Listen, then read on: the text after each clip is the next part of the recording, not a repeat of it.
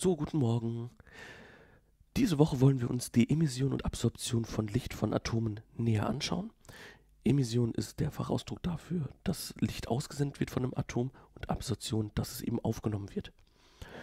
Und bisher war es so, dass wir immer weißes Licht ins Atom geschickt haben, was hier durch diese ganz vielen Farben eben gekennzeichnet ist. Und dann haben wir schon gesehen, dass, wenn wir uns eine Atomsorte aussuchen, nur bestimmte Farben ausgesendet werden, das so die sogenannten Spektrallinien eben. Das heißt, buntes Licht geht rein und raus kommen nur zum Beispiel hier gelbe Photonen. Photonen sind eben der Fachausdruck für einzelne Lichtteilchen. Und wenn wir Licht in ein Atom schicken, wissen wir, dass das in alle Richtungen gestreut wird. Deswegen sagt man auch streuen, weil zum Beispiel den Pulli kann ich ja aus jeder Richtung betrachten und er bleibt gelb, in diesem Fall jetzt. Jetzt wollen wir uns heute aber nicht einen Stoff anschauen, einfach wie eben ein Polystoff zum Beispiel, weil da gibt es einfach so viele Verbindungen zwischen den einzelnen Atomen. Außerdem gibt es da verschiedene Atomsorten, so dass wir nie so ein reines ähm, Linienspektrum hinbekommen. Und um uns wirklich die Emission von einem einzelnen Atom anzuschauen, müssen wir dieses Atom isolieren. Das schaffen wir zum Beispiel in einer Flamme. Ganz genau werden wir uns Natriumdampf anschauen. Natrium ist im Endeffekt Salz, wie ihr wisst. Also Natriumchlorid wäre das normale Kochsalz. Und wir werden auch normales Kochsalz in eine Flamme halten. Dadurch wird das Natrium dampfförmig und dadurch können wir die einzelnen Natriumatome dann in der Flamme leuchten sehen. Das kennt ihr auch schon aus der Chemie. Das ist dann eine ganz, ganz gelbe Flamme. So, jetzt wollen wir aber eben näher untersuchen heute, und nicht nur buntes Licht reinlaufen lassen, sondern wissen, mit welchem Licht kann ich denn ein Atom anregen. Und jetzt gibt es eigentlich zwei Möglichkeiten. Es kann sein, dass ich eine andere Farbe brauche, die ich reinstrahle, zum Beispiel grün, so dass dann gelb rauskommt. Oder aber es kann sein, dass ich genau die Farbe, die rauskommen soll, auch reinschicken muss ins Atom. Wie können wir das jetzt untersuchen? Ganz einfach. Wir nehmen eine Natriumdampflampe. Das ist eine Lampe, die eben nur durch Natriumdampf Licht erzeugt. Die kennt ihr übrigens, solche Lampen. Das sind die alten Straßenlampen, ähm, die immer den Gelbstich hatten äh, oder bis heute noch haben. Und da ist einfach ein Gas in einer Art Glühbirne gefangen. Da wird Strom durchgejagt und dadurch schafft man es, dass die gelb leuchtet.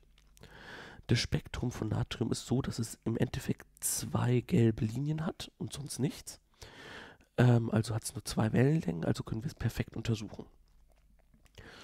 Jetzt werden wir einen Bunsenbrenner nehmen und der wird zuerst einfach eine blaue Flamme loslassen, wie es ein Bunsenbrenner so macht. Diese blaue Flamme ist also eindeutig nicht aus Natriumteilchen bestehend, sondern hier aus Erdgasteilchen. Ähm, und hätte jetzt also andere Spektrallinien, als es Natrium hat. Das heißt, jetzt schickt die Lampe andere Spektrallinien aus, als der äh, die Flamme ausschicken würde. Und jetzt stellen wir uns folgende Frage. Entsteht hinten am Schirm, also wir werfen einen Schatten von dem Bunsenbrenner, hier seht ihr den Schatten vom unteren Teil, auf einen Schirm am Ende des äh, Sichtfeldes. Und jetzt ist die Frage, wird hier die Flamme auch einen Schatten bilden oder nicht? Weil wenn die Flamme auch einen Schatten bildet, heißt es, dass das Licht, das von der Lampe auf die Flamme fällt, ja absorbiert wird, weil es nicht durch kann. Überall außenrum kann es schon durch, aber durch die Flamme könnte es dann nicht. Wenn wir keinen Schatten sehen, wissen wir, dass ähm, die Flamme das Licht nicht absorbieren kann. Also geht es einfach durch. So, und dann haben wir hier noch Salz. Ihr wisst, Natriumchlorid hatten wir gerade. Und im zweiten Schritt werden wir dann die Flamme salzen. Und wenn wir die Flamme salzen, wird sie plötzlich natürlich gelb, weil wir Natriumdampf drin erzeugen dann. So, und jetzt stellen wir uns wieder die Frage, wird jetzt der Schatten sichtbar? Lässt die Flamme jetzt das äh, die Spektrallinien vom Natrium durch oder eben nicht? Genau. Das bedeutet, wenn es jetzt so wäre, dass die blaue Flamme einen Schatten wirft, dann wüssten wir, aha, all die Atome, die an sich blau leuchten, können auch gelbes Licht aufnehmen, absorbieren das also. Wenn jetzt nur die gelbe Flamme einen Schatten wirft, wissen wir, aha, die Atome können also nur die Wellenlängen absorbieren, die sie selbst auch aussenden können. Und dann gibt es noch den dritten Fall, wenn die blaue Flamme blau, äh, einen Schatten wirft, die gelbe Flamme aber nicht. Dann wissen wir, dass ein Atom nur die Farben nicht absorbieren kann, die es, die es selbst wieder emittiert. Alles ist noch möglich, wir wollen das jetzt beim Experiment herausfinden. Vorher möchte ich aber noch schnell erklären, ähm, warum, die, warum überhaupt der Schatten entsteht, wenn es absorbiert wird. Weil das Problem ist ja, dass die gelbe Flamme ja auch selbst gelbes Licht aussendet. Also warum entsteht dann ein Schatten? Das Drehlicht der Natriumdampflampe wird fokussiert nur in Richtung Schirm geworfen.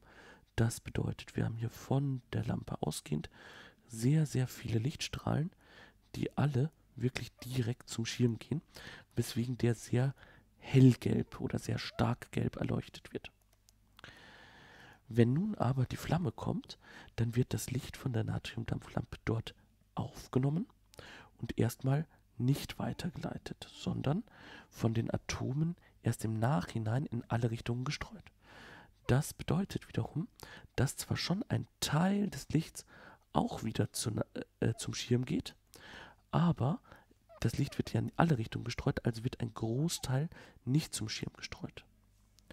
Das bedeutet, der Schatten ist nicht ganz schwarz, sondern immer noch gelblich, nämlich das Gelb, das quasi aus Zufall von den Atomen in der Flamme Richtung Schirm gestreut wird.